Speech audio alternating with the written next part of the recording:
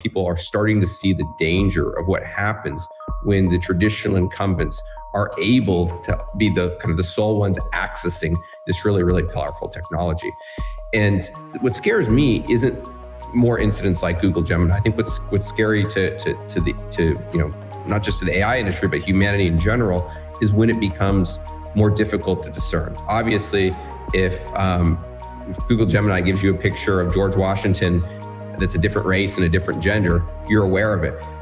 But the next phase will be way more subtle. It will be way more insidious and be almost impossible to discern um, is that true or is that not true? And that's really why we need diversity of AI models is to protect ourselves from one large organization saying our model is the is the right is the right model. That's really the only way around it. You need a diversity of voice and choice in the market. Hence why you need a decentralized AI app store like Freedom GPT.